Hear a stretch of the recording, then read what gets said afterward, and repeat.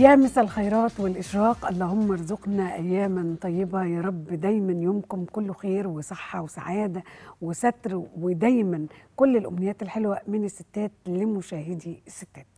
متعودين كل فترة نقرأ معاكم المشاكل اللي الستات بتناقشها على السوشيال ميديا وبيكونوا محتاجين يسمعوا فيها آراء تهون عليهم تدلهم على سكك أوسع في الحلول. آه، فاكرين من فترة كنا عرضنا مشكلة الست اللي اكتشفت إن جوزها بيحوش من وراها رغم علاقتهم الكويسة ببعض وكانت محتارة تواجهه ولا تعمل إيه. النهاردة لقينا ست جميلة منفصلة بتسأل بتعملوا إيه مع الأب اللي قرر بعد الانفصال يتخلى عن بنته تماما وبعد ده بشكل غير مباشر إنه مش عايز يشوف البنت ولا عاوز يكون له علاقة بيها وعمل يعني كل التباعد والبعد بينه وبين ال- البنت. اللي هم الناس يعني اللي بيطلق ولاده وهو بيطلق مراته. أسوأ شيء. أنت بتطلق الأم لكن مش بتطلق الأسرة مش بتطلق الولد مش بتطلق البنت. أصعب وأقصى شيء إن أنت تطلق الأبناء وأنت بتطلق ال- الأم أو إن أنت تطلقي ال ال الأبناء وأنت بتطلقي الأب. المشكلة دي كبيرة جدا ولازم إن ال- الناس يكون عندهم مسؤولية الأبناء ما يكونش عندهم آه، هذا الأداء الطفولي والهشاشة ال- النفسية اللي ما تخليهمش عندهم مسؤولية. المهم البنت دي القصة اللي إحنا بنحكيها دي عندها سبع سنين. الحقيقة إن الموضوع تقيل جدا أكيد على القلب والشيلة تقيلة. والله يكون في عون الأم دي ومش فاهمة إزاي الأب ده يجيله قلب يعيش حياته وحتة منه من صلبه ما يعرفش عنها حاجة. عارفة إنكم كتير آه، عارفة إن اللي زيكم آه، كتير جدا كمان عارفة. وده أسوأ شيء اللي كنا بنقوله إن لما حد يعاقب الست على إصرارها على الطلاق فيقول لها شيل الشيلة أو اشربي بقى أو يتهرب من أي مسؤولية أو يطلق الولاد. مع آه، أو قبل طلاق الأم. المهم إن هي كأنك قررتي أو كأنك قررت تخليها تندم على اليوم اللي قررت تمشي من حياتك. هي مشيت بس في اسم مرتبط بيك في دم في مسؤولية في إنسانية في في. اللي بيحصل ده مش رجولة ومش عدالة. أصل مش هي بتشيل أنت مش بتشيل إيدك من مسؤولية مصروفات ولا التزامات مادية بس أنت بتشيل إيدك من فكرة كونك أب من الإحساس بالأمان من الإحساس بالسند من الإحساس إن الدنيا لسه بخير. فكرة الأب دي حاجة كبيرة جدا لو تعلمون. عشان كده الأمومة بالفطرة والأبوة بالمعايشة وبالقرب وبالقرار وبالإنسانية وبإن ربنا يحط فيك حاجات حلوة كتير علشان تبقى أب يعني دي هدية ربانية فكرة الأبوة. كلمة بابا عمرك ما هتسمعها وانت اللي هتندم على كل يوم ضيعته وانت بعيد عن البنت أو الابن اللي هم بيمثلوا لك طاقة الحنان والدلع والطبطبة. يعني هتلاقيهم فين؟ المعاني دي كلها والأحاسيس الحلوة دي كلها اللي كون ممكن تعيشها مع بنتك. انت كده بتخسر خسارة فادحة. لا يعوضها شيء. أما الأم فأنت مش مطلوب منك أي حاجة غير إن أنت تكوني الحضن لبنتك والأمان ليها ويبقى عندك ثقة إن ربنا هيرضيكي وإن ربنا هيقف معاكي وإن ربنا مش هيتخلى عنك. والأهم لو جات سيرته لازم تقولي كل طيب. ما تقولوش حاجة وحشة في حق الأب الذي تخلى رغم أنه يستحق. ولكن إحنا عشان نفسية ولادنا وعشان استقرارهم وعشان سعادتهم لازم نقول على الأب الكلام الطيب كله. نقول مشغول نقول مسيره يجي نقول عنده ظروف نقول لازم. نعرف ظروف الناس لازم نقدر ظروف الناس نقول ما ناخدش مواقف قبل ما نعرف ظروف الناس المهم أهم شيء ما تشوهيش الصورة بنفسك وتساعدي طول الوقت إن الصورة تكون حلوة تكون طيبة تكون طبيعية لو أنت مش قادرة تخليها مثالية تخليها طبيعية ما تشوهيهاش بأي طريقة عشان نفسية ابنك مش عشان اللي تخلى ده لأنه ما يستحقش كده بس إحنا بنعمل كده عشان ولادنا. خليكي انت الطرف اللي ما بيسبش ما, بي ما بيعملش حاجة وحشة ما, ما تقلليش منه مهما كان سيء. خليه هو في روايتك انت الأفضل والأحسن. اوعي فكرة إنه شخص سيء أو السيرة السيئة. خليكي عنصر الخير دايما وخليه عنصر الخير في روايتك. خليها هي تكبر بنتك وتعرف مين الغصن الأخضر اللي في حياتها ومين الأرض البور. بس لما تكبر وتنضج وتفهم مش وهي صغيرة خليكي قوية عشانها. واحملي اللي في وسعك عشان تكملي اللي جاي من غير ما تلجئي له وهتقدري مؤكد هتقدري لأن كل القصص والروايات بتقول إن الستات دايما بطلات وإن هم أقوى في كل وقت وإن هم بيحققوا معجزات. ربنا يعينك ويعين كل الستات الجدعة اللي مكملة وهي بطولها بدعم من أهلها ومن أصحابها وبرضا آه، ربنا وبطبطبه ربنا آه، أكيد آه، بتعمل كل يوم وبتعدي كل يوم في معجزة وبترضى وربنا بيراضيها أكتر وأكتر. ربنا يكتب لكم دايما الرضا وربنا يدعمكم ربنا يكتب لنا دايما أيام طيبة. عندنا حلقة آه، مهمة جدا أهم ما فيها إن أنتم حاضرين معانا. يومكم زي الفل. هنطلع فاصل ونرجع نبتدي حلقتنا.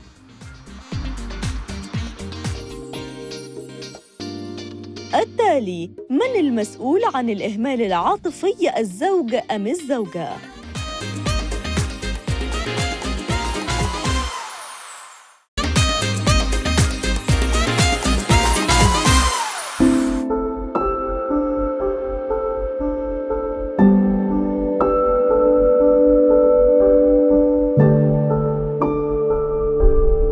الإهمال العاطفي معاناة خفية يعيشها الزوجان وخطر يحيط بعلاقتهما. مهما مرت السنوات فقد تنشب بينهما الخلافات لكن لا يتطرقان للأزمة الأساسية ومشاركة المشاعر. لا تلقى مسؤولية الإهمال العاطفي على عاتق جنس بعينه فهي لا علاقة لها بالمرأة منفردة أو الرجل منفردا لكنها مسؤولية تقع على عاتق شخص في أغلب الأمر عانى من الإهمال العاطفي في طفولته وتربى على عدم الإفصاح عنه.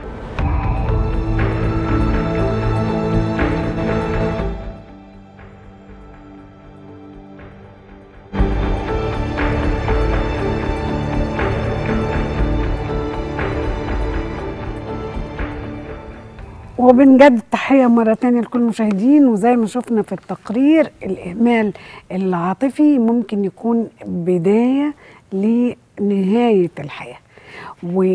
ودايما الحاجة للاهتمام والرعاية العاطفية الكافية من شريك الحياة والدعم والمودة والاحترام والأمان أمور طبيعي إنها تكون متوفرة في الحياة عشان تبقى حياة مستمرة بسعادة. بدونها بتكون مؤسسة الزواج مهددة بالانهيار طول الوقت وفي أي وقت. ال- قصة الإهمال العاطفي دي فعلا مشكلة كبيرة جدا جدا وفخ الإهمال العاطفي وارد إن هو يحصل في أي وقت لأن كل شريك عنده احتياجات عاطفية على الطرف التاني تلبيتها. لكن كتر الضغوط اليومية سرعة إيقاع الحياة بتخلينا جميعا نروح للوقوع في فخ الإهمال العاطفي. أحيانا بيكون الرجل هو المسؤول من وجهة نظر ناس كتير وأحيانا برضو بنفس النسبة تقريبا بتكون المرأة. المهم هما الاتنين بيقولوا إن الإهمال رجل وفي ناس بيقولوا الإهمال امرأة هم بيتبادلوا الاتهامات لكن في الآخر النتائج سلبية جدا على العلاقة بشكل عام.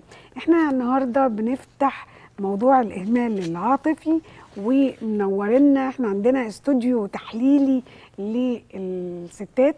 وال بيبقى فيه ستات ورجالة. إحنا عندنا آه، ناس ضيوفنا هم أعضاء رئيسيين في الاستوديو التحليلي وبينضم لهم آه، في بعض الأحيان آه، أطراف جديدة. فمن الأعمدة الأساسية في الاستوديو التحليلي للستات زميلنا الأستاذ أحمد عبدون. أهلا بيك أسعدتنا ونورتنا. بشكرك كمان بيك انت والكاتب ال- الصحفي الاستاذ محمود الضبع أهلا بيك. أهلا بيك. والكاتبة ريهام نصير أهلا بيكي أهلا بحضرتك هي من مؤسسي النادي بقى ريهام من أول ال- الحلقات عاملة لكم وهي- دوشة دايما. وهي معانا عاملة لنا سعادة والضيف الجديد بقى في استوديو التحليلي بتاع الستات النهارده صانعة المحتوى إيمان سيف الدين سكر على السوشيال ميديا تسلمي لي. نورانا يا إيمان تسلمي لي يا نور. أسعدتينا ونورتينا نقول بسم الله. هتتنهد ليه من بدري؟ لسه بدري الموضوع. آه إيه يعني إزاي أنا كرجل أحس إن أنا مهمل عاطفيا هو الإهمال رجل ولا ست؟ لا الإهمال آه، العاطفي رجل. رجل. لأن الرجل هو العنصر الإيجابي في العلاقة ما بين راجل وست. وبالتالي هو قادر إن هو يحيي هذه العلاقة أو يطفيها أو يردمها أو ينهيها. مهما الست تعمل من مجهود وتشغل مزيكا وتعمل ورد وتعمل أكل هو بيحبه. لو هو مش عايز يشوف ده مش هيشوفه. هيدمرها نفسيا ويدمر العلاقة. اذا المسؤول عن العلاقة العاطفية نجاحها أو فشلها هو الراجل مش الست بالتأكيد.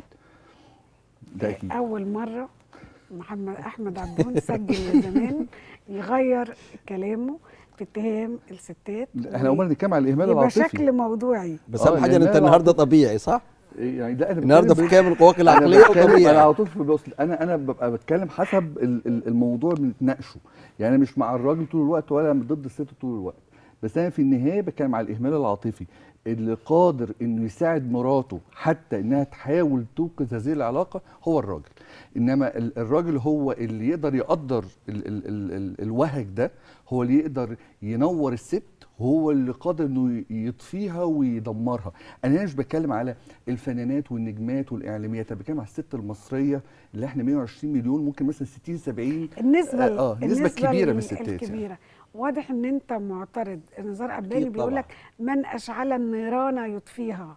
هو يشعل النيران وقت الإعجاب والخطوبة وبعد الجواز الإهمال يطفيها. أيوه ما هي طالما ما فيش تقدير من ناحيتها هتلاقي الدنيا تبوظ. يعني لازم هي ت- ت- تقدير إزاي هي يعني؟ تحافظ على الحب الراجل اللي بيديهولها.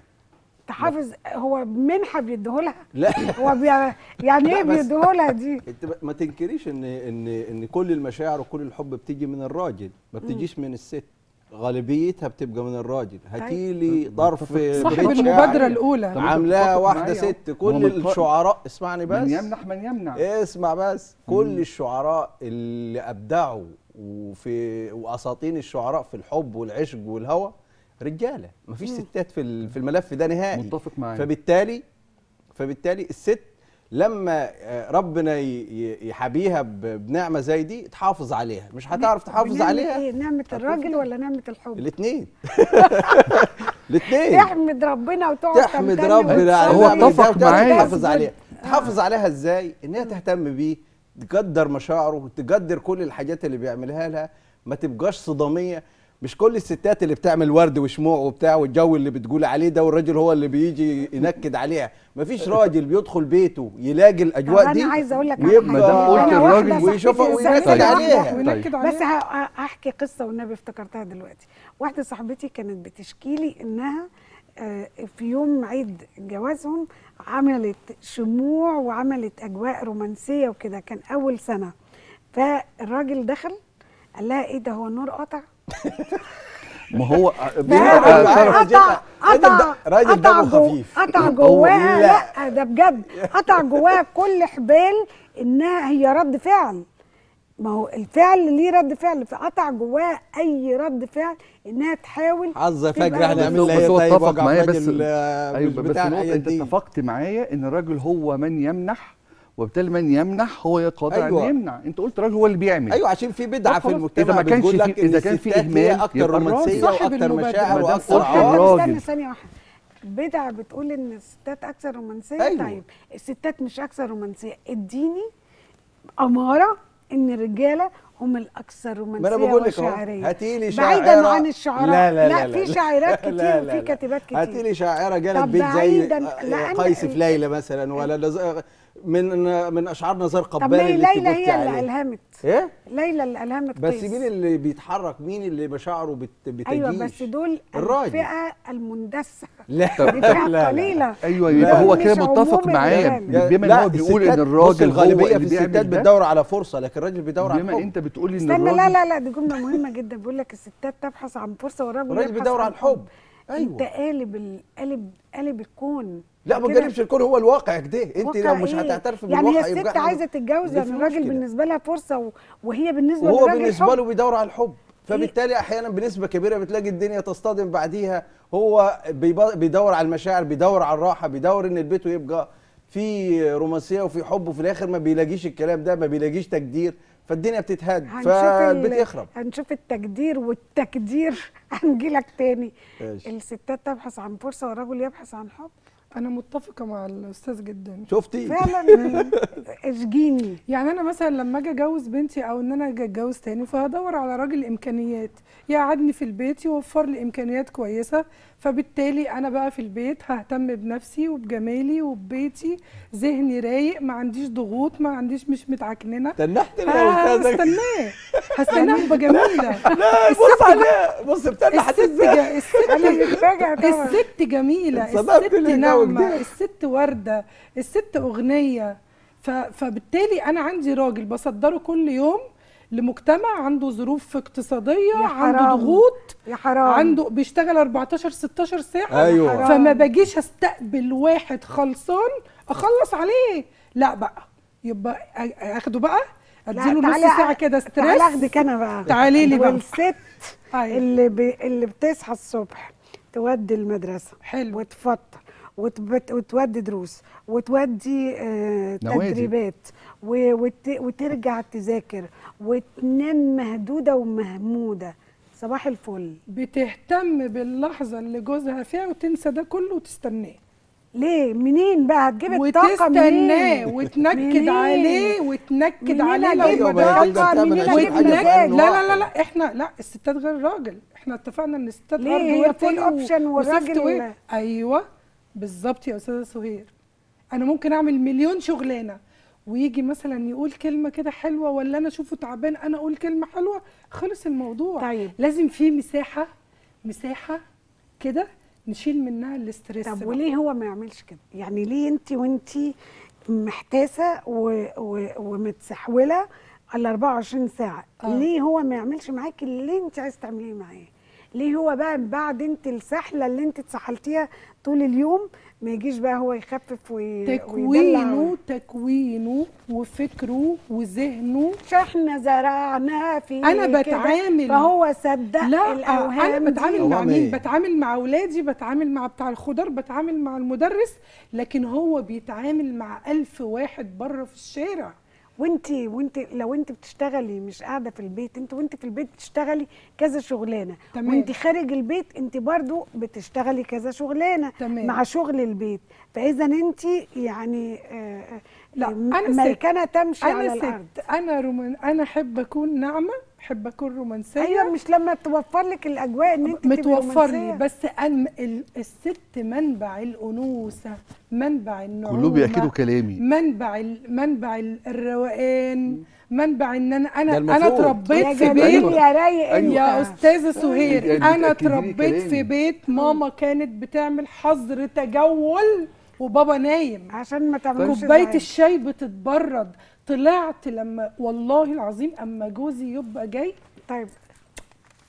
بالحضن. طب حتى وأنا عليا ضغوط طب ومعايا ثلاث طب ولاد. احكي لي عن جوزك. ثلاث الله ولاد. يرحمه. الله يرحمه. ألف الله رحمة ونور.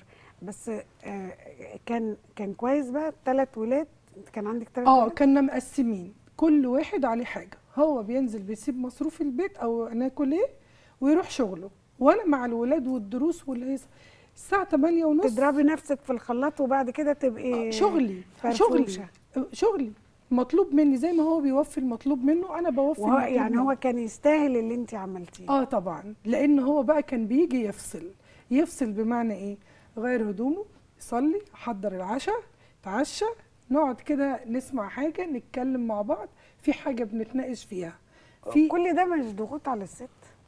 لا لا لا لا لا, لا بالعكس. ما هو الراجل عليه دور كلمة بقى. واحدة بقى بتخلص كل ده. الراجل عليه دور. آه يعني الست الكلمة الحلوة الواحدة طحنة المفرمة اللي هي. الراجل بقى ما هو دي نقطة كده بقول لك الراجل مسؤول عن الإهمال أو عن النجاح. أيوه لو الراجل ما قالش بقى. بيقولها بيقولها بحاجات بسيطة قوي يا أستاذ سهير يعني مثلا هقول لك على حاجة. وهو ده داخل تعبان محمود مبسوط منك قوي وهو داخل تعبان. والله العظيم وهو يا رب داخل أنت تعبان. تتبسطي يا شيخ. عارفة؟ خلاص مش لازم يجيب. لي ورد. إيه إيه إيه خلينا نقسم إن. مش مصر مش هند صبري في فيلم أنا ورد. عايزة ورد يا إبراهيم. يا ست مين اللي هيجيب ورد ومين اللي عايز ما فيش ورد؟ لما كان مثلا بيجيب آيس كريم وهو داخل شوية من الورد. وهو داخل. آه. داخل رايق كده وجايب شوية شوكولاتة للولاد مبتسم. مبتسم. أيوه. طب لو ما. دخلش مبتسم أقلب البيت. معركة؟ لا. لا. أهدي أهدى أعرف فيه إيه؟ أعالج وأتجنب. هو داخل دلوقتي شايط عنده مشاكل.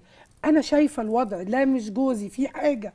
يبقى أنا آخد كده هدوء كده مالك في إيه طبعا لا، لا، اللي على فكره حصل الاثنين متفقين مع محتاجة تدي كلامي للستات أستاذ كورسات سؤال الاثنين متفقين على إن الراجل هو عرفت الايجابي إن في ثلاث أرباع الستات ما. عندهاش عقل. ولا لا أهو ده كلامي أهو. إن الراجل. وده اللي. بنقوله. للجيل الجديد.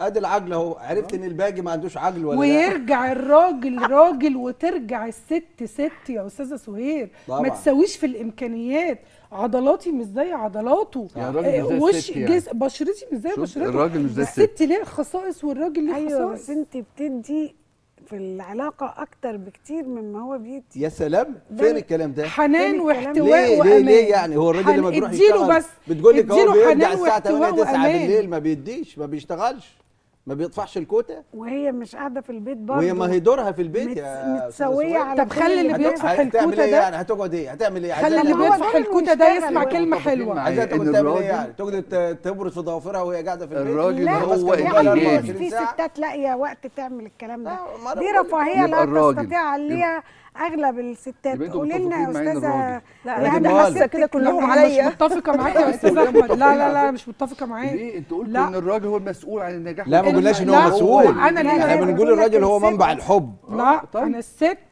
أنا نفسي أفهم منبع الحب ده فين؟ أيوه. اللي هو ليه؟ أنت ما بتسمعيش اشعار نزار قباني ولا؟ قيس بن الملوح ولا عنتر بن أيوة شداد و- دول- ولا غيره من الشعراء دول ولا إيه؟ ربنا اداهم ما سمعتيش أشعارهم بتقول إيه ولا إيه؟ مش موجودة عند أغلب الرجالة. أمال ليه الستات بتشتكي وبتطلق ما هو لو كل ما هي الرجالة جليلة عدل لها قباني إيه؟ ما هي جليلة عدل يعني ما هي طول عمرها لا بشكايه لا هي مش قلة عقل ده الشكوى دي طبعا هو. الراجل اللي مع هو ده من قلة الحب حضرتك يا مش قلة. العقل آه والله، قولي والله. يا لا طبعا أنا. مش متفقة معاهم كلهم في الكلام ده خالص طبعا هو مفيش بيت زي بيت ومفيش حالة زي حالة أكيد. بس النسبة الكبيرة طبعا المشكلة عند الراجل والنسبة وساعات يا أحيانا بنسبة قليلة بتبقى الست هي اللي فيها المشكلة أو الست هي اللي نكدية أو الست هي اللي مش عارفة تدي حنية وحب لجوزها نتكلم بقى عن نسبة كبيرة من الراجل. لا أغلب الرجالة ما عندوش مشاعر أصلا. الحياة بعد الجواز عنده اغلب بتتحول الرجاله ما عندهاش مشاكل أصلا والله. لا الحياة هتبقى بعد الجواز على عنده- الاهمال العاطفي ده مش هو- معنى لا لا عندنا بعد شهادات الجواز الانثيات المغربيات واللبنانيات؟ والجنسيات الأخرى. نديها فرصتها. يقول لك يقول لك جالي اسمعوها. ما عندوش مشاعر لا هو- الراجل بيحب وبيكره. يعني. والله. هو بعد الجواز بيتحول إن هو خلاص عايز واحدة. وبعد الجواز بيحب كتير بيحب. واحدة تانية. أيوه. تانيين. عارفة التانية دي بقى لو اتجوزها؟ التانيين مش تانية. التانيين دول بقى لو اتجوز هيبقى برضه نكد هيروح ي- يشوف هيبقى تانيين برضه لا الأولاني. سعيد مع التانية هو حضرتك عشان لقى هو حضرتك. هو حضرتك والأولانية إيه اللي هدده في الأمان التاني لا نكدت عليه وجرفته. نكدت آه بقى بقت بقت وزير اقتصاد بقى أيوة. عايزين عايزين عايزين عايزين عشان البيت،. التانية ما بتقولش كده انت- بتقولي يا روحي صباح الخير حضرتك التانية يا دي. هتتجوزوا على إيه لو مش هتجوز؟ يعني ده على إيه مثلا. يا بابي لا رد يا بصي. بصي لايمان لا ورد بس حضرتك التانية هتتجوزوا على إيه؟ أهو وجهي كلامك لايمان يعني بالراحة يا جماعة.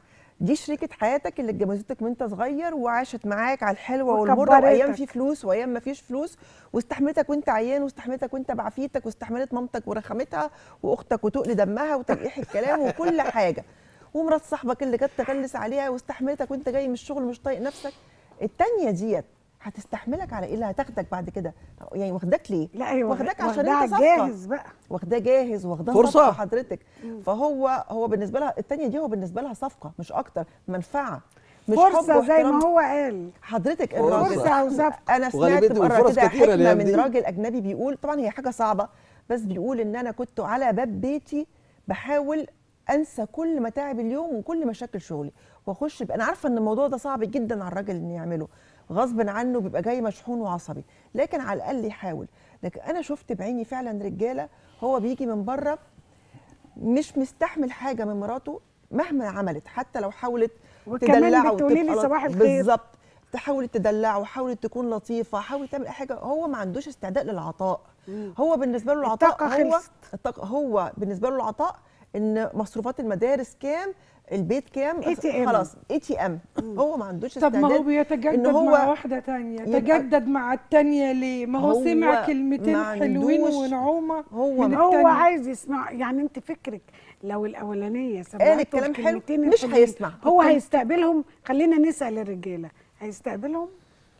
آه، ما هو الراجل آه، نقطتين بس يعني فكرة إن الراجل بيستقبل نفس الكلام من الشخصية مختلفة ممكن يستقبله من شخصية وما يستقبلهاش من شخصية تانية ه- ليه بقى ما هو ده اللي بنسأله عشان الشخصية القديمة بيسمعها بطريقة مملة بقاله 25 سنة ولا الشكل مش ولا ولا وما هي لا شكل ولا منظر اتجوزها. أساساً، هو. اتجوزها مش بالشكل القديم متجددة طبيعي ولا. سنتين. يعني هو اللي فضل وسيم جماعة، وصغير يعني أنا بسأل سؤال أنا بسأل سؤال عوامل التعرية طالتهم ده من- دليل إن هو. عايز دايما يعني هو يسمع إيه يعني هو عاجز زي ما هي عجزت ما- ده دليل إنه عايز يتدلع مش أيوة، بس مطلوب مش من الراجل منها. بس عايز أقول لكم يدور حاجة. مش مطلوب لا، من الراجل. مش مطلوب من الراجل يفضل وسيم. بس مطلوب من الست تفضل يعني ما تعجزش ما تكبرش ما يجيلاش تاخد امراض ما من- ضغط وسكر إيه، بالها من نفسها.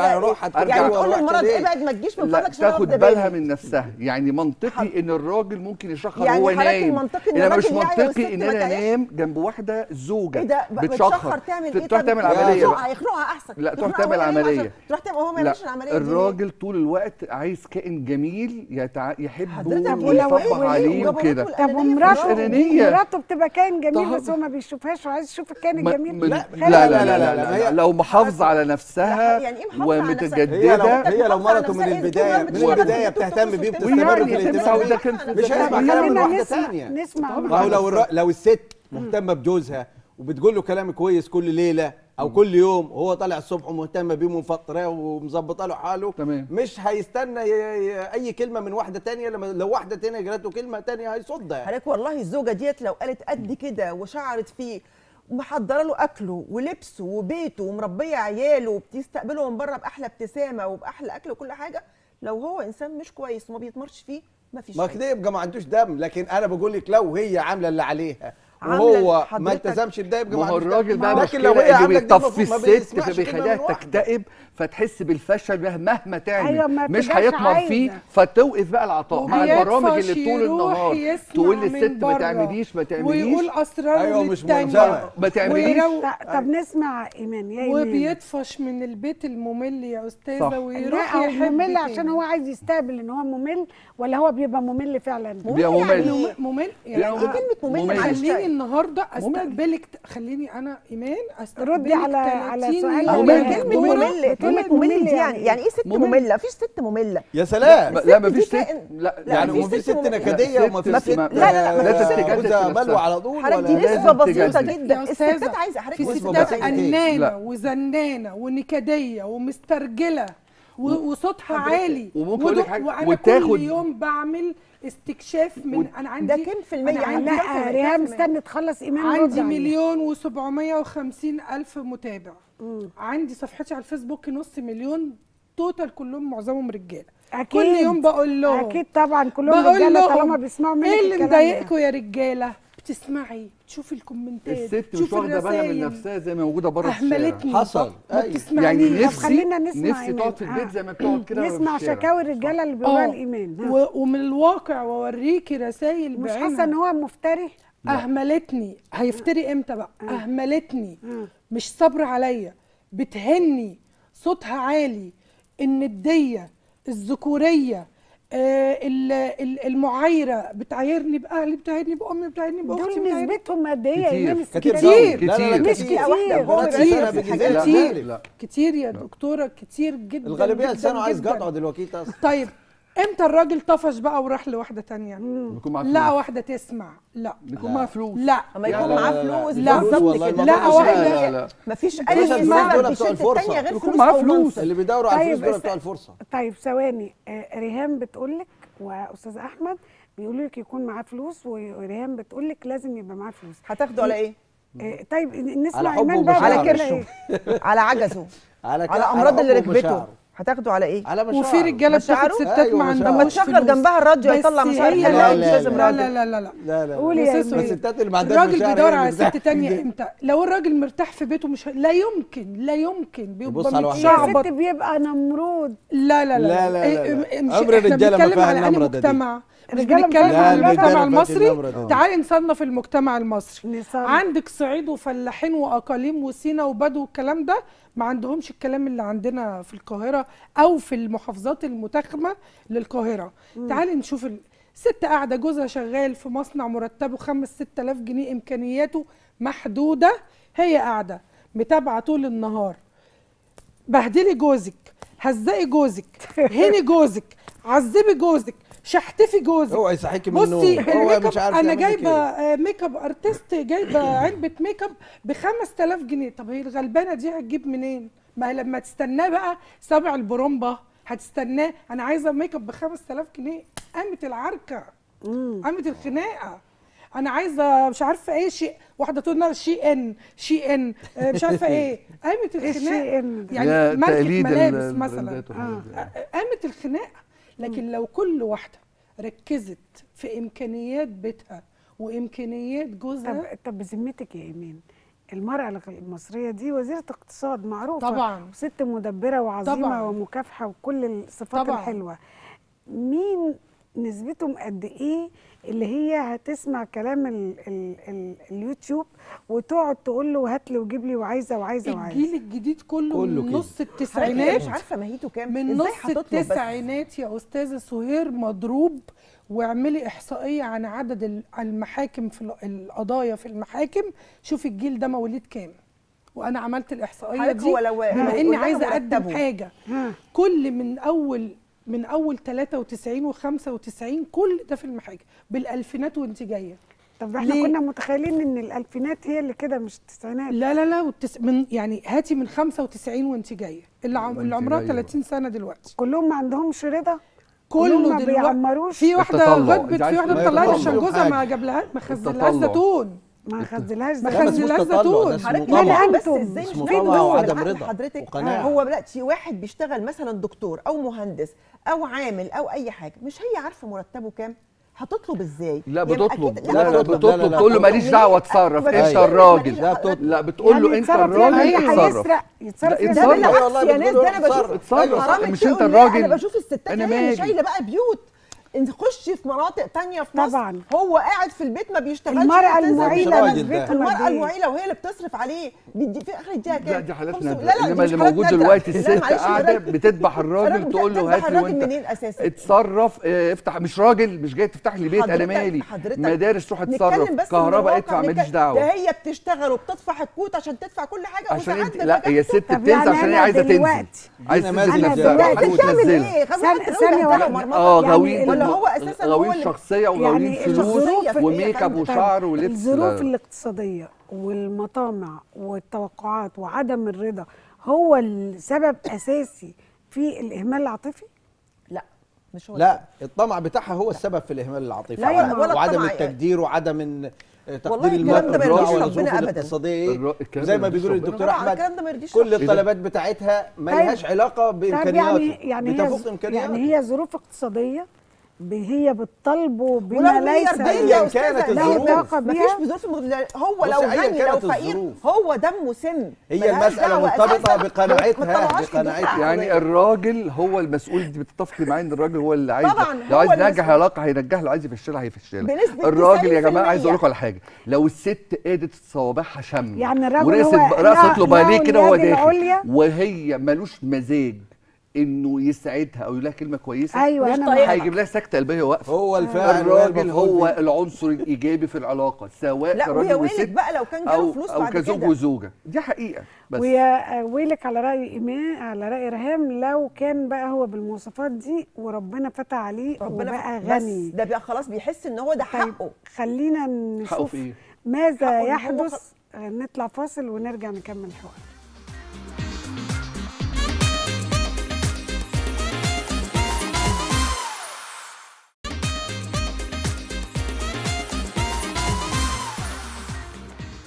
وبنجد تحية مرة تانية لكل المشاهدين وفي الفاصل الأستاذ أحمد قال الرجالة كلهم حصل لهم إيه؟ الرجالة. بتتساقط الرجالة بتتساقط. بجد بتقع يعني ما بتستحملش الضغط العصبي اللي عليها من الستات لأن لأن الست بتضغط عليه فروحوا المعاشات هتلاقوا المعاشات كلها الستات بتاخد المعاشات رجاله حصل. أيوه. والله يعني يعني نسبه بجد جتاري للجبر يا. أخي. والأستاذ محمود ذكر حادثة. لسه كانت في محكمة الأسرة. أيوه. كانت ال- اللي هو الراجل اللي مات قدام أولاده وهي بتطالبه بالمتعة والنفقة. وفي الآخر الراجل جاته سكتة وهو قاعد مات. فبتقول للقاضي هو مين اللي هيديني فلوسي قال لها انقضاء دعوة روحي شوفي إعلام الوراثة. الراجل مات خلاص عايز إيه تاني؟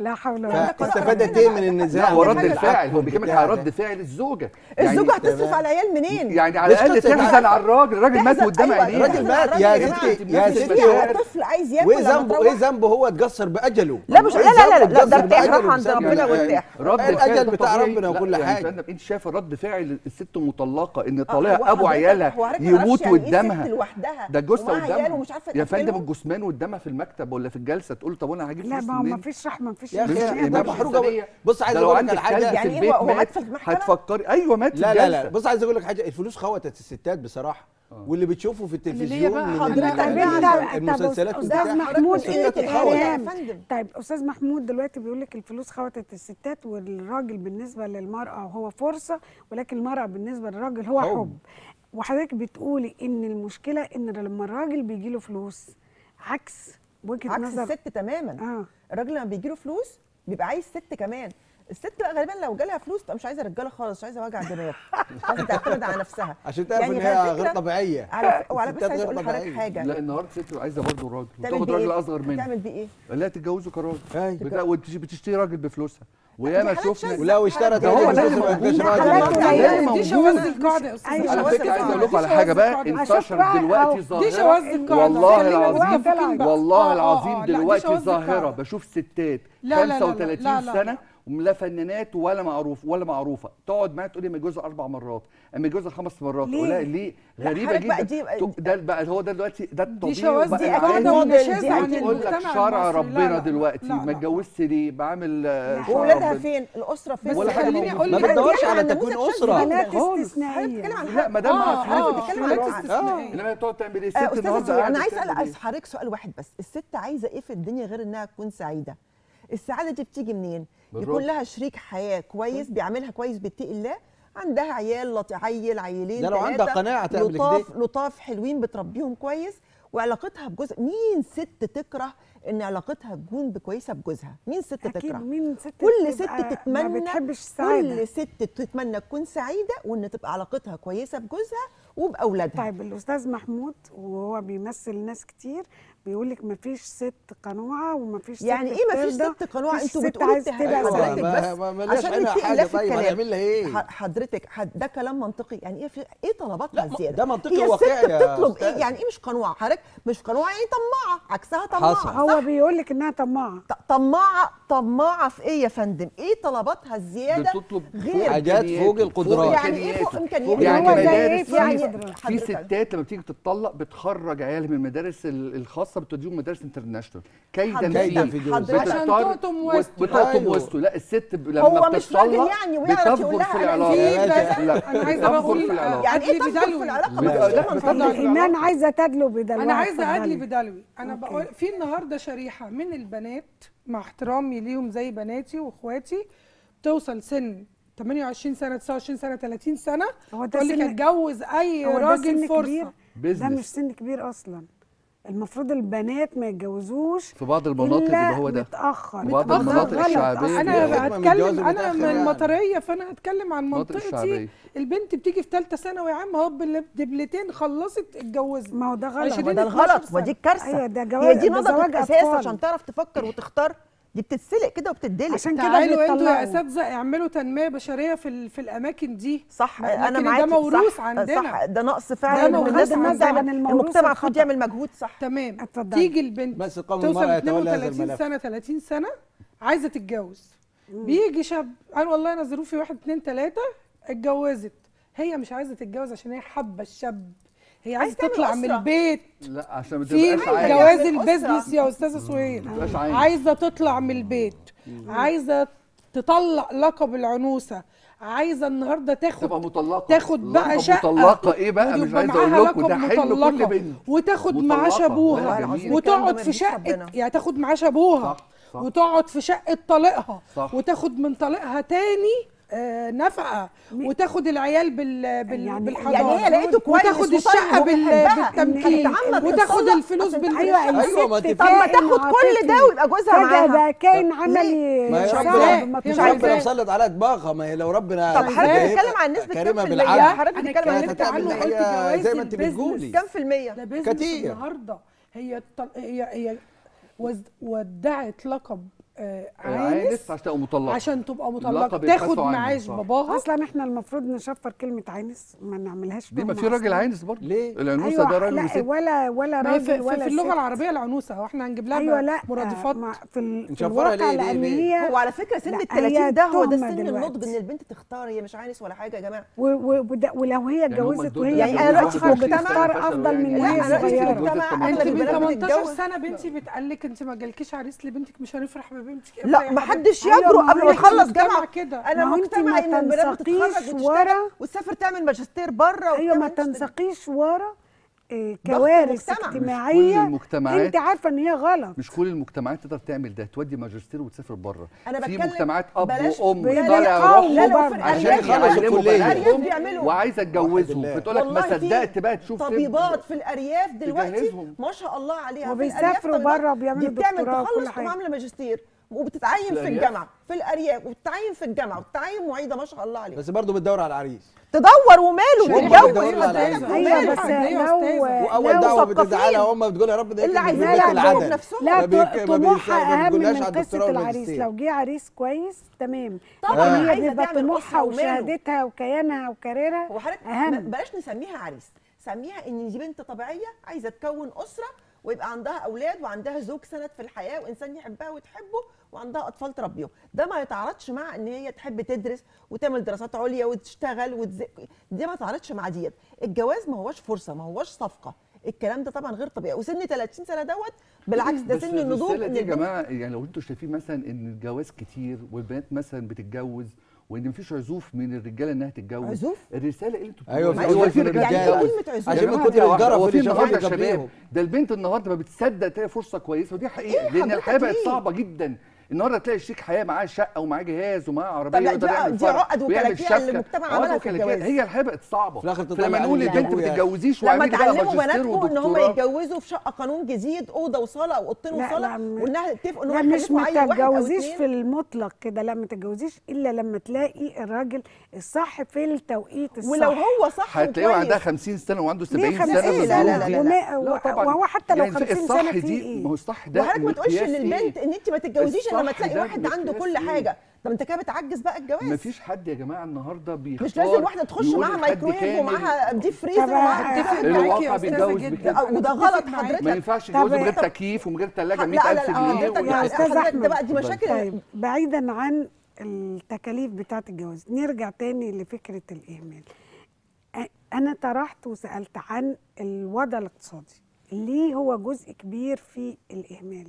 ده الراجل مش عايز يتحمل مسؤوليه ولا القصة بتبقى جينات الاسر ما بتعرفش تقول صباح الخير الراجل ما بيعرفش يحب ما بيعرفش يكمل مشاعر. هقول لك الموضوع بقى بيكلف. يعني بيكلف يعني إحنا زمان مثلا كان في عيد الميلاد آه، كان هقول لك بس إن ده بيترجم بحاجات بنعملها. يعني انما البقين الحلوين كل سنة وأنت طيب يا حبيبتي كل سنة وأنت طيب يا حبيبي وكده خلاص. ما كان بيعرف يقولهم زمان لا مش لا, لا, لا كان بيتجاب هدايا يا أستاذة سهير كان بيتجاب هدايا. وكان بنسافر بره وكنا بنتعشى بره في مكان ونقعد نص نسهر لغاية مش عارف الساعة كام ونودي العيال عند آه، باباها وعند مامتها والفيلم ده عشان ونسافر ممكن ثلاث أربع أيام في أي أوتيل نقعد فيهم.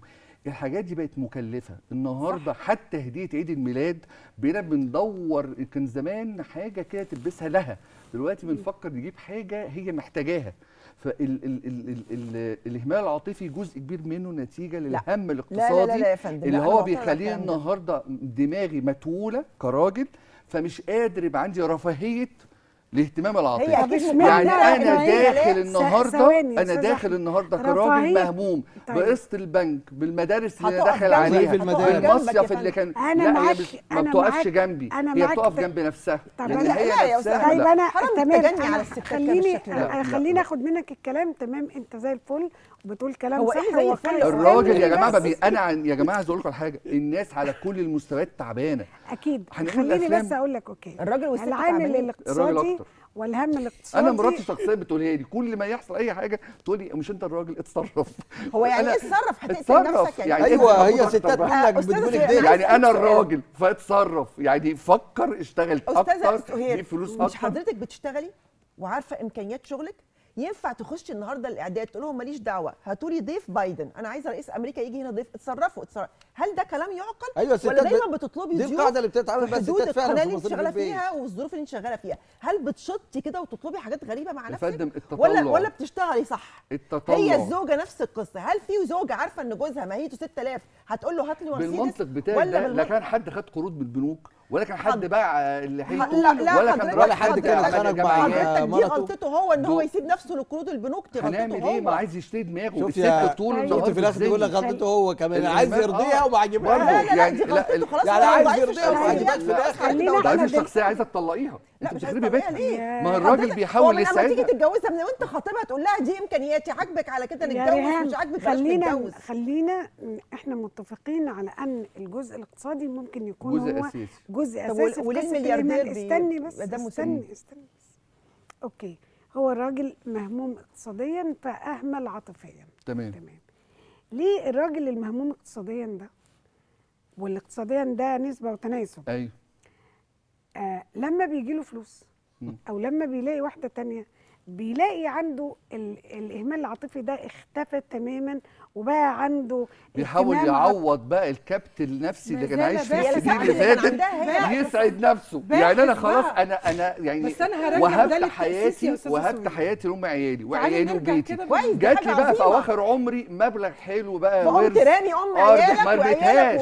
ودوست ما رميتهاش ولا دوست عليها ولا فوق دماغي من فوق. هي فوق دماغك منين بقى؟ خلاص انت آه، قرستها كده. خلاص نزلتها تحت الأرض. خالص. ليه؟ لا ليه؟ ده قمة الأنانية. هي الأساس. وهي وهي بنت الأصول وهي حبيبة قلبي. وعقلي آه، بالعكس. بالعكس. ده هي بالعكس؟ بس سيبها براحتها. هو ابن الأصول بيبيع مراته مين أنا تابعتها؟ ما ولا أنا ما قلتش ببيع حالا اصله فوق دماغي. لا هي بتقول لي فوق إيه؟ دماغي بس عايز يمتع نفسه. إيه يمتع نفسه مع مراته. هو شرع ربنا. هو أنا لو اتجوزت هو أنا لو اتجوزت راجع مش هتلاقيه مهمل عاطفيا لو حبيت واحدة ثانية مثلا. حبيت هو في حد بيحب اثنين مع بعض؟ وثلاثه إن شاء الله. إن شاء الله.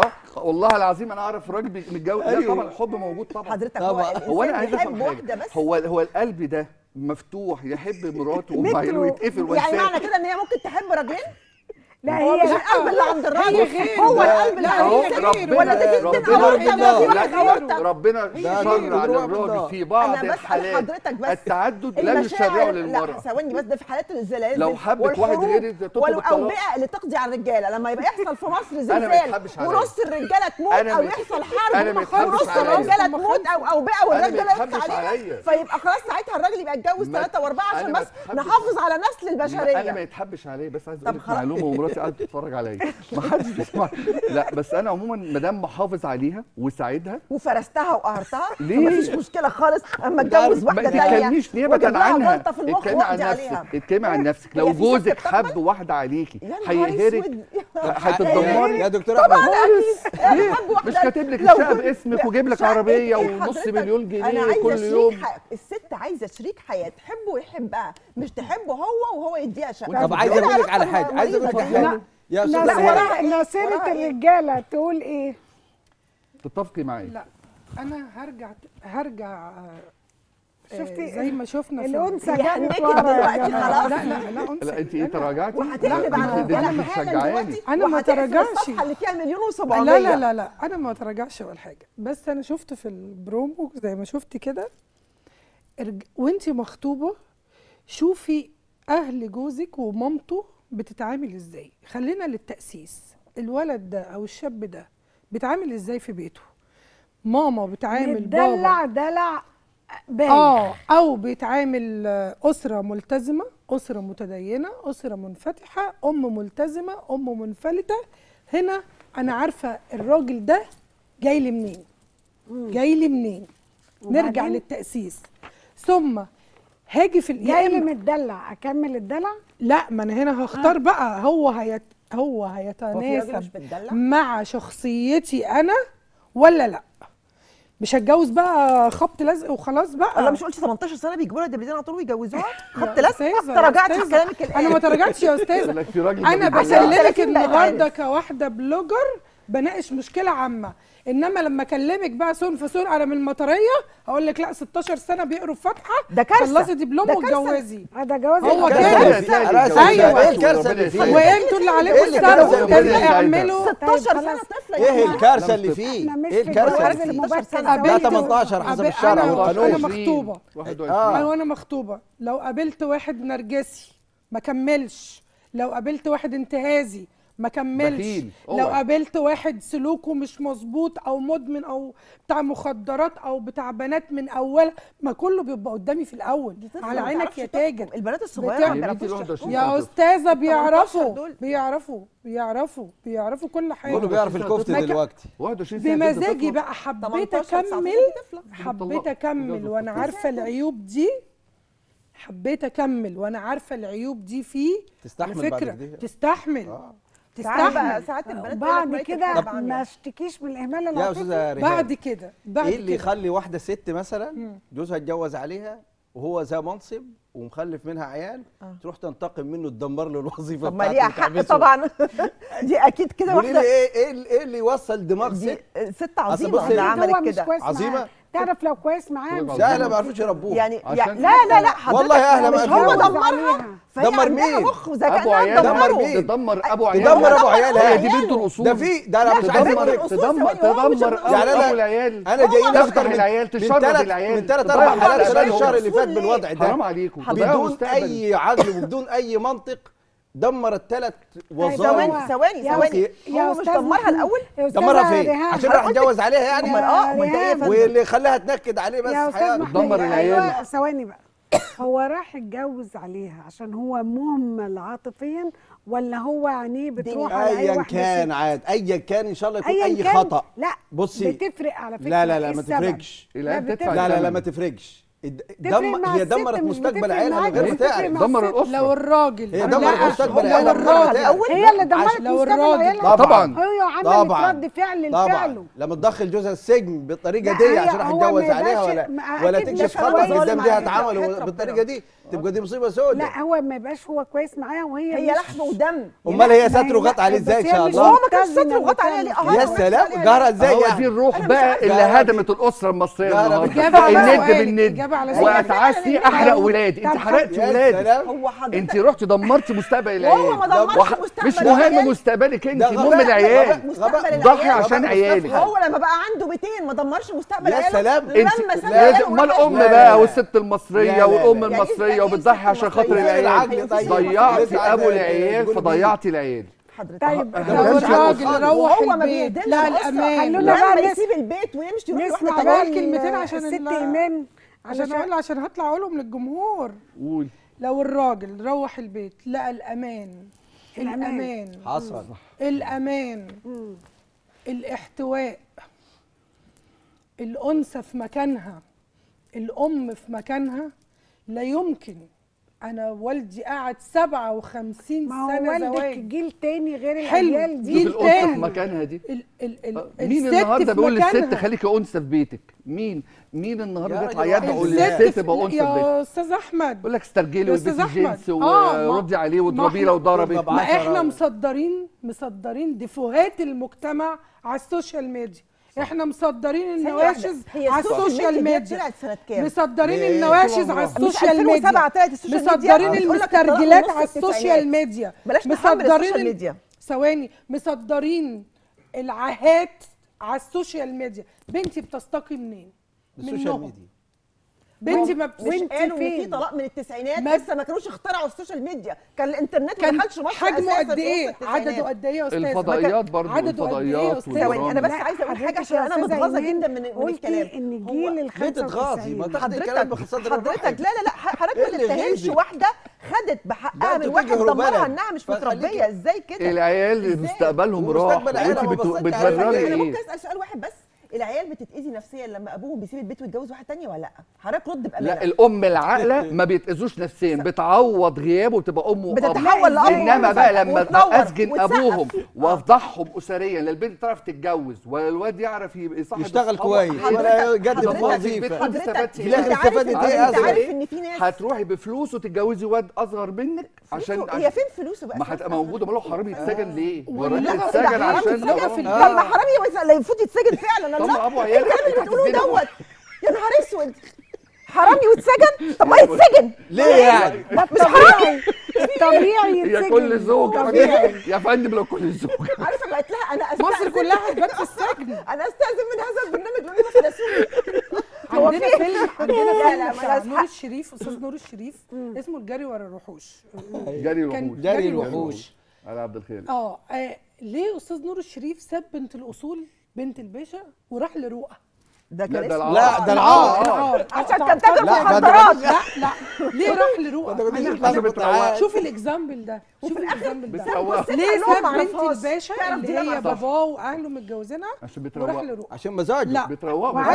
لا. ومصيرها كان عشان؟ كانت وعمل هو استندل؟ بقى في الآخر لكن- طيب ما أنا دلوقتي إحنا ما كناش عارفين النهاية دي هو هتتدفني زي ما خلينا خلينا بعيدا عن الهزار اللي إحنا لا قلناه مش الهزار وال- هو بس دور ليه على نتكلم بقى جد شوية دور لأن كان عندها الأمان عندها الفضفضة عندها الحنية عندها الصوت عندها الكويس العطاء. عندها بس العطاء. هو ما قابلش العطاء العطاء الامتنان. لكن أنا إزاي أطلع بنتي أطلع بنتي تبقى أنثى؟ أطلع بنتي من البيت تبقى أنثى في بيت وأنا مست... م... م... وأنا ند لجوزي وأنا عندي ذكورية راجل لراجل بعامله في البيت راجل لراجل أصدر ست للمجتمع إزاي؟ ما لازم أنا أبقى أنثى عشان أصدر أنثى لازم أنا أبقى ست ست عشان أطلع أنت ست. دلوقتي تنصحي الستات إزاي؟ بما إنك أنت دلوقتي بتكلمي دايما بحال الرجالة. علشان ما يحصلش إهمال عاطفي عشان ما نقعش في فخ الإهمال العاطفي اللي ممكن يبقى سبب خراب نفسيات كتير وبيوت كتير. المفروض الستات يعملوا إيه؟ الرجاله يعملوا إيه؟ الست تتقبل طالما اتجوزت الشخص ده تتقبله بكل ظروفه بمميزاته وبعيوبه اللي يمكن إصلاحها. جميل؟ كل في مكانه. الزوج زوج في مكانه بيواجه مجتمع بيواجه ناس الزوجة في مكانها مع اللمسات الجمالية. ما أنا أول ما بتجوز ما ببقاش أم بقعد شوية كده عروسة جميلة بحط ركائز الحياة وأنا لسه قبل ال- الزحمة ما تيجي. طريقة المعاملة الهدوء الأدب المتبادل الاحترام مفيش ندية مفيش صوت عالي مفيش ذكورية مفيش مقارنة مع بنت خالتي وبنت عمي وجارتي. أصل جارتي عندها تكييف ثلاثة حصان لا أنا أجيب خمسة. جارتي أصلها لابسة آه، غوايش لا أنا أجيب ألماظ. مفيش أنا راضية بظروفي إلى أن تتحسن مع الحفاظ على جمالك. ورشاقتك دي مهمة وحلاوة. صوتك. وحلاوة صوتك. وانوثتك. ودلعك. ورقتك لأن أنت ست وإذا ملكتي قلبه ملكتي فلوسه وعقله وتفكيره وبيته وكل حاجة ما تنسيش معدته لو سمحت. الكلام ده؟ على واحدة ما؟ تنسيش معدته لو سمحت. الست وهي بتتكلم بره البيت. خلاص بشكل وهي بتتكلم جوه البيت بشكل تاني. اسمعي نصايح إيمان علشان تكسبي إيمان وجهة نظر بتمثل ناس كتير ان وجهة نظر ده. بتمثل الواقع والحق طيب ما أنا بقول أهو أيوة. أنا قلت والله ماشي. قول بقى أنت وجهة نظرك حتى لا نقع في. في فخ الإهمال العاطفي. إن زي ما قلت لك من البداية خالص إن أي واحدة تحمد ربنا على نعمة المشاعر إن هي اتجوزته أصلا. نعمة المشاعر أيوة. اللي, عند الراجل وتعرف تحافظ عليه تعرف تقدره تقدره صح؟ تحافظ عليه لو؟ عرفت يعني إيه تحافظ عليه؟ تقدر كل حاجة منه. تمتن لكل حاجة. بالظبط يعني ما تبقاش حتى لو هو ما بيمتنش. لا بيمتن لا, لا بس الراجل كل حاجة بتبقى متبادلة. ما هي طالما هتزرع هتحصد. هتزرع ورد هتحصد ورد. هتزرع قطران فوق راس اللي في جابوها في في هتحصد ستات قطران فوق راس بتزرع ورد وما. بتزرعش وما بتحصدش إيه؟ ورد في في رجاله ستات لا بتزرع ورد وما بتحصدش ورد لا بتحصد ورد لا في لا، ما رجالة لا في لا رجالة لا تبقى نيتها مش سليمه لا لا في رجالة برضه ما نيتها هي اللي مش سليمة لا لا في ولا ولا رجاله قلبه. هو اللي مش سليم لا لا نيتها في مش رجالة ما سليمه طبعا بتقدرش ده لا في رجالة ما بتقدرش ده حضرتك لا، لا. على أرض. الواقع بس شوية لا، في أيوة، ده ما الواقع،. ما ده يا برضه ال- أساس نصيحة. لكل زوج. وراجل دي أرض النفاق يحترم لا. يحترم مجهود مراته لا بص برضه أنا بقول لكل زوج. احترم المجهود اللي مراته اللي مراتك إيه عملته علشان علشان لو في مجهود. عملته. يعني هقول لك على حاجة. يعني لو في راجل لا يعني لو في لو في. ست.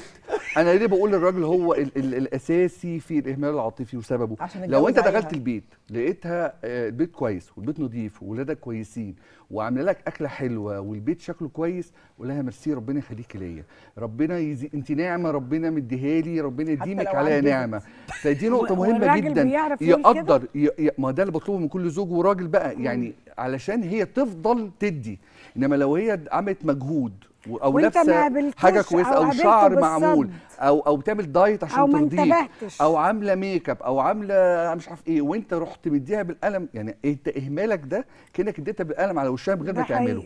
فلازم عشان تشجعها على العطاء فلازم أنت تقدر ده يعني أنا لغاية النهارده والله العظيم لما مراتي بتعمل حاجة أكل أول حاجة بعملها أقول لها تسلم إيديك الأكل تحفة. بس ناقص ملح لأن لا ما بق... لا أنا هي طبعا عندي الضغط فما بتحطش ملح في الأكل. بس أنا بجد أنا بقول بس لكل زوج عشان ما يبقاش فيه إهمال عاطفي قدر اللي مراتك بتعمله عشان أنت اللي مسؤول مهما كان بسيط. عشان أنت اللي مسؤول عن العاطفة اللي الست هتديها لك أو لأ.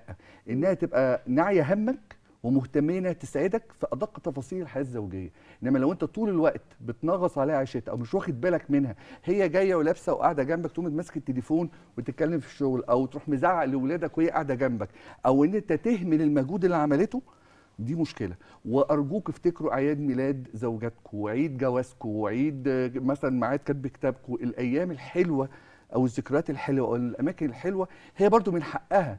إن أنت تاخدها في مكان عارف إن في أزمة اقتصادية بس هي لو بتحب تفطر في مكان معين ما يجراش. حاجة الفيزا برضو بتحل أزمة إن أنت ممكن تصرف مبلغ فوق طاقتك بس ده هيساعدها بالذات لو هي عارفة إن ده فوق طاقتك يعني ممكن تقعد يومين ثلاثة تاكلوا كشري وفول وطعميه في البيت في سبيل إن أنتوا تاكلوا أكلة حلوة هي عايزاها أو فسحه حلوة هي عايزاها أو حاجة حلوة هي عايزة تلبسها لا قدروا ده. شفت الاستاذ أحمد ساعات بيبدع هو الراجل يعني بيبدع ساعات. الراجل كلامه لا. في بالعكس أنا قلت الراجل مسؤول عن. لو في اهمال عاطفي أيوه بس بيطلع الرجولة اللي. فيه أحيانا لا، آه فيغير طبعا بص. العلاقة بين الراجل والست زي ما كان في كده دكتور نفسي بيقول هي ماتش بينج بونج بضرب لك الكورة وانت بترد لي الكورة خد وهات خد. وهات. فهو. هتديك مشاعر طيبة اديها مشاعر طيبة هتبقى سخيفة خليك سخيف لكن ليه؟ أنا بشوف خليك سخيف ليه؟ خليك سخيف ليه؟ لو هي نكديه؟ هي يعني يعني واحدة نكدية وجوزها ما عليك ما تضحي واحدة نكدية راح. عليها لا لا لا هي وحشة خاصمها هي كويسة خليك كويس حضرتك أنا بشوف الجزاء من جنس العمل. حضرتك أنا بشوف رجالة بيجي من بره مراته تيجي تكلمه بس وبعدين بقى صاحبه يكلمه في التليفون تعالى ننزل نقعد على القهوة. حبيبي جاي لك حالا آه. حضرتك ده ده إنسان مريض إنه مش عارف يسعد نفسه ما هو لو بيقول لك إيه سعيد بتلاقيش. بتسع... هو سعيد هو الناس بس اللي سعيد سعيد نفسه بيهرب، من ده نكد هربان هو من البيت بيتعب. من وصاحبه. نكد هربان من نكد الجوز اللي جابوها هي جاية. تهزر معاك هربان من تدلع نكد. معاك تكلمه الست لسه غلس عليها حضرتك حضر... لو الست بس وحشة نسمع ليك. عذرك لكن لما الست تكون مقطعة نفسها عليك وكويسة هو ماتش. بينج بونج المشاعر متبادلة ما ينفعش إن أنت عارفة كأنك بتعملي إيه عارفة اللي كان زمان يقول لك فيه بابور كده بتديله وبتفضلي تديله نفس وهو مفوت آه. اسمه إيه كباس بيهب في وشها. مش عارفة اللي هو بيهب اللي في هو وشها. بيقول لك مفوت مف... مفلق مش عارف في حاجة آه. اللي هو مخروق الفوليا بتاعته بتبقى يعني. بايظة فبيروح فهي هابط في مهما. تفضل تعمل وتدي أيوة. مشاعر وكده هو بايظ أساسا هو مش ما. بيستقبلش فالمشاعر متبادلة بينكم لا قولي لها ضحي شوية وزودي لا، ما نقولهاش ضحي شوية، لا، معلش عشان من فضلك. عشان لعل وعسى ربنا ما تقولش يهديه كل لا، حاجة لا، عندك لا. قناعه يعني موقف- زي ما تاخد زي ما. تدي آه زوجة بتجهز الغداء فجوزها بيقول لها ما عملتيش طبق سلطة ليه؟ قالت له اطفح وانت ساكت. لا دي قلة أدب. كان ممكن. يت... راح عامل إزاي؟ راح ماسك الصينية دي جالبها في وشها. لا. لا لا ده رد برضه كان ممكن. هي بقى تقول له إيه والله أنا لقيت النهارده الطماطم غالية شوية. معلش نفوت ما لحقتش. أعملها يا حبيبي ما يعني لحقتش أعملها. وخلاص. آه ممكن رد فعل. ما لحقتش. ما اطفحها إيه؟ وانت ساكت. نعم رد فعله لا. رد فعل بكرة عيب برضه رد. فعله عيب يعني أنا مراتي تقول لي اطفح هي وانت ساكت. الأدب هي قلت الأدب. يقول لها لا ده كلام غير مقبول انت قلت ال- الأدب. هي ال- الأدب ولا قامت اهلها ما. عرفوش يعني انت عايزة هي تقول الأدب ولا أهلها ما عرفوش يربوها قالت الأدب ولا ما محمود، يربوها إن. إحنا نفكر شوية عشان نتجاوز أي مشكلة أو موقف طارئ نفكر نفكر قبل ما نتكلم وقبل ما الكلام نرد أيوة صح. لازم فن الرد الكلام. والمسافة والمساحة وال- ننقي الكلام يعني مثلا انت كنت فين يا منيل طب ما انت كنت فين يا حبيبي مم. فين يا حبيبي وضربة البوز وهو داخل آه. بقى آه يا الست عليها ضربة وهنا كده. رابطة كده. والجلابية بتاعت. الغسيل وقعداله بس لو جت صاحبتها هتخش تلبس الحتة ال- طب ما هو اللي كمان على الحبل زي ما ريهام قالت ينزل على القهوة ويبقى سعيد ومبسوط وتختلف هرب تماما هروب يا أستاذة سهير يهرب من العك. هروب من نكد صدقيني أيوة، أيوة. الكلام مش هروب منطقي والتكدير. لأن في. مجتمع والله العظيم هناخد لو لا الستات. بتبوظ بعض وروقان الستات، ما هينزل من البيت وروقان ما بس هينزل الستات بتبوظ بعض برضه. الستات بتبوظ بعض الستات. بتبوظ بعض والجروبات اللي ال- عاملينها طول ال- النهار الستات. تفسد. بعضها الرجل آخر أناني. كلمه أخيرة الرجل أناني ده آخر كلام حتى عشان لو شوفي مليونير ومراته بيجي موفر لها طباخ وشغالة وكل حاجة وبيجي يلاقيها لابسة وحلوة ومش آه. بجلابية ولا. حاجة آه، حضرتك آه. برضو بيجي برضو ولابسه له كله وما أيوة. يبقاش بجلابية البيت ولا حاجة وبرضو بيجي ضارب بوس مش متقبل يسمعها آه انتبهوا للإهمال العاطفي نركز على الكلمة الحلوة الموقف الحلو نفكر قبل ما نرد قبل ما نتكلم خلي نفسيتنا حلوة علشان يبقى عندنا سعادة نجيب السعادة لنفسنا مش بس نسعد الطرف الآخر ونسعد نفسنا. أستاذ محمود سعداء ممتنين. أستاذة إيمان كل السعادة كل الامتنان أستاذة ريهام السكر دايما. أستاذ أحمد عبدون شكرا جدا. ولسه حلقتنا مكملة. نشوفكم بعد الفاصل.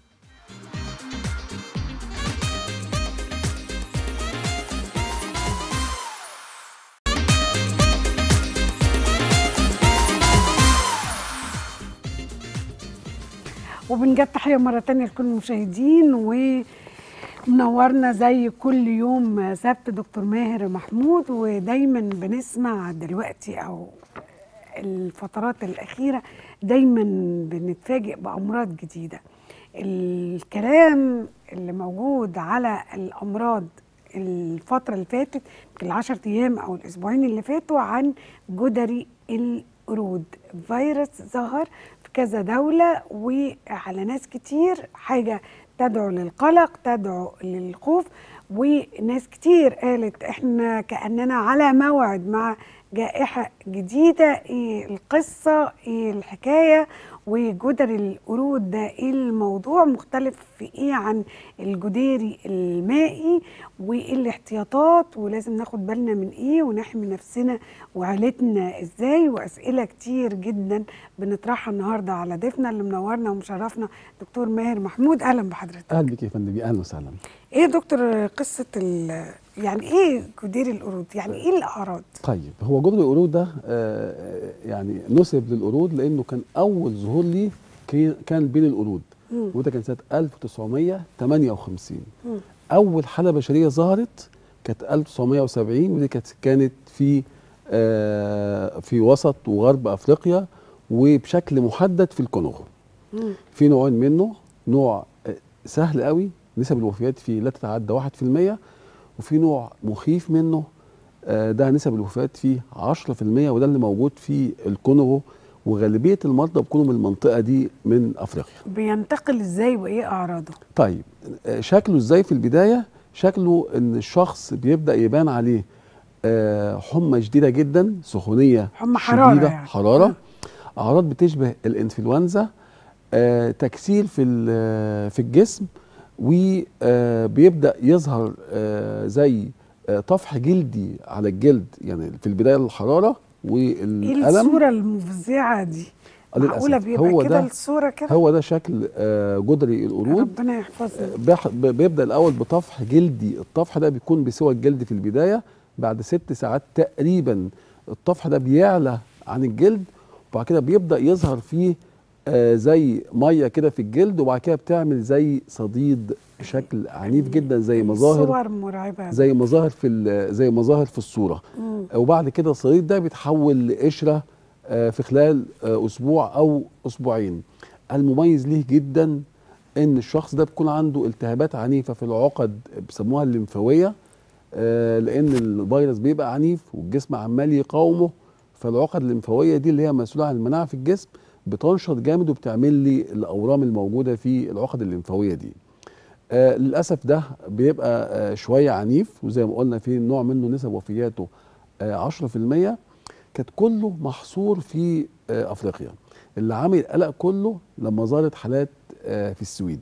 يعني 2022 و2023 ظهرت حالات كتير جدا في آه أوروبا. السويد. بالظبط. منظمة ال- ال- الصحة العالمية. أعلنت الأربع اللي فات إن هو حاله طوارئ في أفريقيا واتوجد ليه تطعيم يعني الدنمارك عملت ليه آه، تطعيم وبدات توجهه لدول أفريقيا عشان ما يكونش مصدر آه، لبقية الدول الثانية هي الناس قلقانه من التطعيمات ربنا ينجينا آه. وما نضطرش للتطعيمات. ربنا يستر. وما يجيش أصلا. إن شاء رب. الله يعني الدولة إحنا عندنا ما. فيش أي حالات في مصر نهائيا ولا في مصريين ولا في أجانب عندهم وده حسب ما أعلن آه، متحدث وزارة هل الصحة هو امبارح. ممكن يتحول لجائحة زي الكورونا الناس خايفة من كده. آه، هو العدوى طريقه العدوى بتاعته شوية مخيفة. يعني نقدر العدوى بتكون عن طريق سريعة يعني. سريعة. عن طريق يا إما الملامسة المباشرة آه، للمية اللي بتكون موجودة في الطفح ده أو استعمال أدوات نفس الشخص اللي هو ال- المصاب أو يكون في آه، ملامسة لصيقة للشخص ده بحيث إن ممكن الرذاذ أو ال- العطس أو البلغم ينتقل آه، للشخص الآخر. اللي بنخاف عليهم قوي الناس اللي هم بتبقى مناعتهم قليلة شوية. فدول ينصح إن إحنا حتى كمان الناس اللي هم أصحاب الأمراض المزمنة ولا مين؟ أصحاب الأمراض المزمنة آه، بنخاف على الحوامل آه، بنخاف على الناس اللي بتاخد أدوية بتقلل المناعة. يعني في أمراض مناعية بنضطر ندي الشخص فيها دواء يقلل المناعة عنده شوية. فدول بنخاف عليهم جدا آه، من الحاجات دي. فإحنا بشتى الطرق لازم نبتعد عن مصدر العدوى. الناس اللي هم مضطرين يسافروا مثلا مناطق آه، زي أفريقيا أو ما شابه يجوز إن هم ياخدوا آه، جرعة تنشيطية من ال- التطعيم بتاع الجدري العادي الجدري المائي العادي ده يساعدهم آه، جدا شوية. يعني المضطر للسفر لازم ياخد تطعيم الجدري العادي. العادي أو ياخد بقى تطعيم اللي هو الايه جدري القرود لو متاح ومتوفر. ولكن إحنا متوفر. المفروض نخاف ولا ما نخافش؟ آه، إحنا المفروض نكون حذرين. نكون حذرين ولكن ما نقلقش. هو مش جائحة زي كورونا أو انتشاره سريع آه، زي كورونا. لازم تلامس مباشر أو تلامس لصيق. يعني حتى الحالات اللي ظهرت آه، في السويد كانت نتيجة آه، اتصال جنسي. طيب فده إيه- تلامس لصيق بيقولوا. إيه الفرق بين الجدري ده والجدري المائي. طيب هو الجدر المائي برضه للأسف الأيام دي منتشر شوية. ليه بقى؟ آه ربما نتيجة إن المناعة بدأت تقل شوية آه الفيروس اتوجد تاني. هو الجدر المائي كان مخيف قوي يمكن ده, ده شكل, شكل الجدر. شكلها لطيف اهوت يا دوب آه بيظهر على شكل طفح آه على جلدي. الجلد لونه محمر شوية يبدأ يعلى عن الجلد ويبدأ م- تبقى فيه زي مية شفافة آه في الجلد بهذا الشكل. الصورة دي صعبة. آه. طب هو إيه طرق العدوى؟ طيب طرق العدوى آه، في الجديري المائي ممكن الشخص يتعدي من الشخص المصاب قبل ما تظهر عليه أعراض. مم. يعني أعراض الطفح ده ممكن قبلها ب 48 ساعة الشخص يتعدي. يتعدي إزاي؟ الملامسة المباشرة لل... لل... للطفح الموجود والمية الموجودة فيه دي أو استعمال أدوات ال- المريض نفسه أو التعرض للرذاذ اللي خارج من ال- المريض المصاب بالجديري المائي. الجديري المائي آه، فترة حضانته في الجسم ممكن توصل إلى ثلاث أسابيع. يعني الشخص يتعدي. يعني أنا ممكن أتعدي واقعد ثلاث أسابيع عند. العدوى بالظبط. يا خبر أبيض ده خطير ثلاث جدا. أسابيع. لذلك بيجي لي مثلا طفل في وعد ناس تانية بفترة الحضانة آه دي؟ ب- بالظبط. قبل ما تظهر الأعراض ب 48 ساعة. يا خبر يجي لي. أم بطفلها عنده جدري تقول لي ابني ما تعرضش لحد ابدا. يا ست ما تعرضش امبارح النهارده ولا أول امبارح. بس تعرض من ثلاث أسابيع. فكل فيروس له فترة حضانة آه في الجسم. ال- السخونية عند مريض الجدري المائي ما بتكونش عالية قوي. دايما إحنا عارفين إن السخونية في الفيروس ما بتبقاش عالية قوي. يمكن في البكتيريا بتبقى أعلى والناس بتميزها. آه ما كناش بنكتب علاج أصلا قبل كده لأصحاب اللي هم الجدري المائي ولكن دلوقتي بنضطر نديهم حاجات مضادة لل- للفيروس وبنديهم الأهم بننبه عليهم بلاش يهرشوا خالص في المكان اللي فيه الجديري المائي. يعني حضرتك مع ال- الخطوات اللي بتحصل لما جدير مائي بي بيحصل في مدرسة بيقفلوا فصول لازم. كاملة أو بتتقفل. المدرسة. وده شيء مهم جدا وننبه عليه جدا وننبه على الأمهات. رجاء اللي تشك إن عند ابنها عنده آه، جديري مائي. بلاش تعدل آه الآخرين أو عنده سخونية على الأقل سخونية في وقت كان فيه جديري مائي منتشر تغيب ابنها من نفسها. آه، بتغيبه ما بين أسبوع ل 10 أيام على ما تطمن إن مفيش عنده وما يكونش معدي للآخرين. بيفضل الشخص الأعراض موجودة عليه اللي قلنا عليها من شوية دي من أسبوع إلى 10 أيام وبعد كده بيخف تماما والجديري بيجي مرة واحدة في العمر. في الغالب بيجي مرة واحدة في العمر وما بيجيش تاني. ولكن كان في اعتقاد خاطئ إحنا زمان. عايزين الله لا يرجعه الله لا. يجيبه. يا رب يا رب. بس كان في اعتقاد خاطئ زمان يقول لك بدل بيجي مرة واحدة في العمر خلينا ندي كل الأطفال اللي في البيت الإيه؟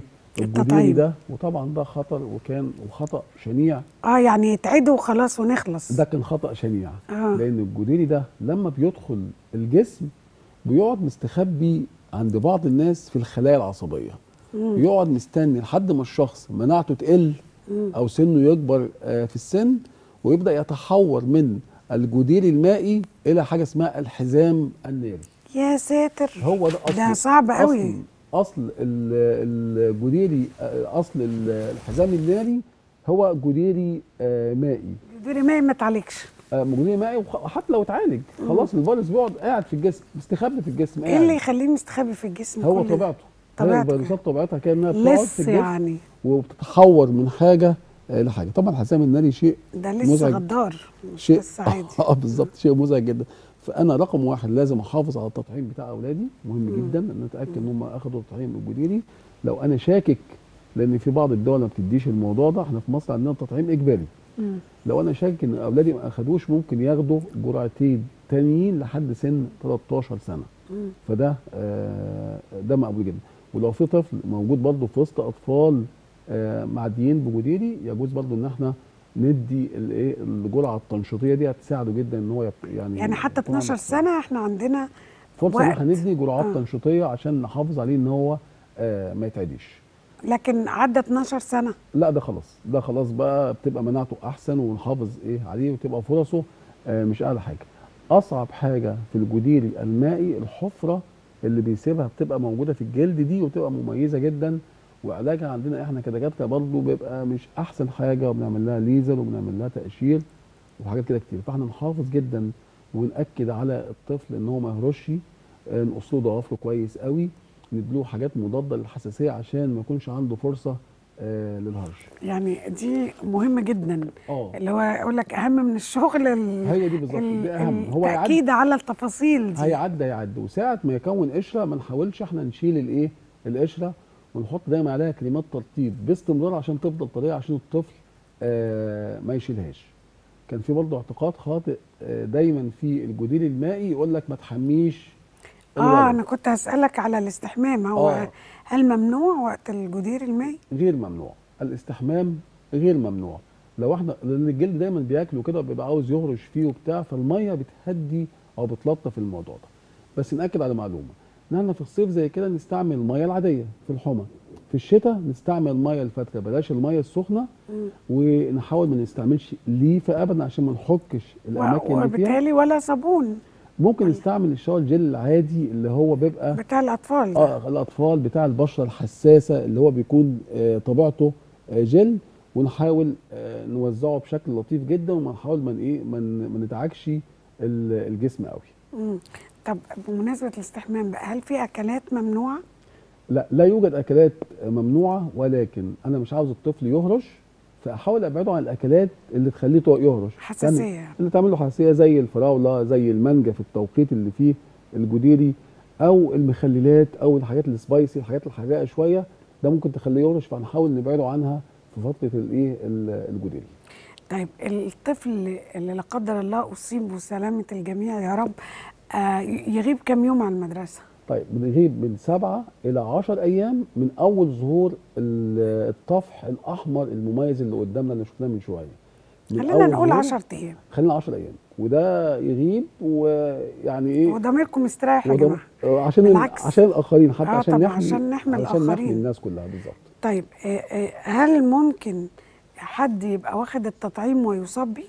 آه مفيش تطعيم في الدنيا حمايته 100% آه فممكن فعلا يصاب بيه ولكن لما بتيجي الأعراض عليه بتكون أقل كتير جدا جدا من اللي ما أخدش التطعيم أنا ممكن يجي طفل كده يظهر له بتاع 5 6 10 آه وممكن يجي طفل تاني جسم كله آه مليان الطفل ظهر له حاجات بسيطة ده ده واخد التطعيم فهو مساعده جدا إن هو جسمه يقاوم. جسمه يتعرف على الفيروس وبدأ يقاومه بسرعة أول ما دخل. طب هل ممكن الشخص يصاب مرتين؟ لا آه، فرص إصابته آه، مرتين قليلة جدا وإن كان كل قاعدة ليها آه، شواذ. ولكن الأصل إن هو الشخص ما بيصابش مرتين بال- بالجدير المالي. طيب إحنا موسم الدراسة المفروض خلاص يعني هانت إحنا بنتكلم على آخر الشهر ده يعني هيبقى في بكره أصلا. أو في مدارس ال- اللغات. أنا كنت قاعد مع دكتور أحمد عبدون فقال لي ولادي بكرة المدرسة أصلا. آه ال I G أعتقد. آه، هم ألسن تقريبا. آه. يعني في في مدارس خلاص يعني آه، إحنا بالظبط. موسم خلاص بدأ للأسف سريعا. إيه السلوكيات الصحية اللي لازم نعلمها لأولادنا عشان نحمي نحميهم ونحمي نفسنا آه، من الأمراض الجلدية. طيب رقم واحد زي ما قلنا حتى كانت مصادر العدوى استعمال أدوات الآخرين. ممنوع وأنا بتا نستعمل آه، أدوات آه، بعض. آه، نحاول نرجع لفترة هي ما كنا في كورونا. كنا دايما معودين الأطفال إن هم الغسيل ال- النظافة. العالية درجة آه. قصوى من إعلان النظافة. ودي وبصراحه الموضوع بتاع كورونا نفسه علمنا الحاجات دي كتير. استعمال الكحول من وقت للتاني طبعا آه، آه، مهم. مهم. التلاصق اللي هو ال- ال- ال- التلاصق اللي هو اللصيق ده الجامد ده نحاول نقلل منه. واللي واللي يقدر آه، في الأماكن الزحمة وفي المستشفيات يلبس ماسك يلبسه. آه مفيش أي مشاكل خالص تمام. ونتأكد بس إن كل واحد برضه يأكد من من أدواته واي حد يظهر عليه سخونية ولو بسيطة آه، نغيبه لحد ما نتأكد إن هو ما عندوش حاجة. إن شاء الله ربنا يحفظنا جميعا. آه، دكتور ماهر أسعدتنا ونورتنا. إن شاء الله على وعد بلقاء الأسبوع الجاي إن شاء الله تنورنا ونشوفك على خير. ودمتم آه، بخير. ويا رب كل أمنيات الحب والسعادة والصحة والستر من الستات لمشاهدي الستات. دمتم بخير. نشوفكم على خير بكرة يوم جديد والستات على النهار.